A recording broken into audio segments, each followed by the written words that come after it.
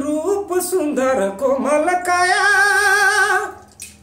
मुँह से नी बोलेला रूप सुंदर को मलकाया मुँह से नी बोलेला बीता महीना रे बीता महीना सावन